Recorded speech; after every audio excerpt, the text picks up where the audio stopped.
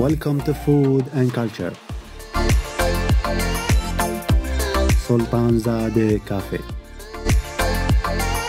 For all those looking for a cafe that has a lot of romance in its decor and in the types of sweets it offers.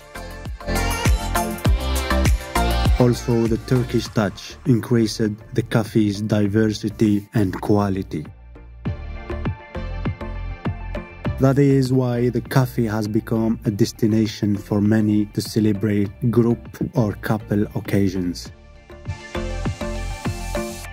If you are a fan of romantic cafes, you should go to Sultan Zade.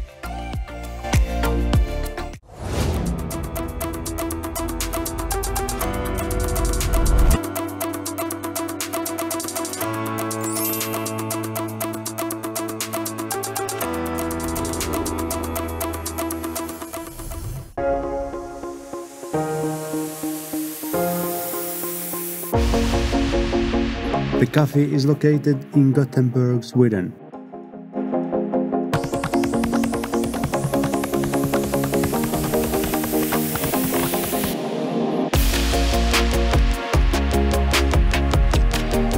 You will find the address in the description box.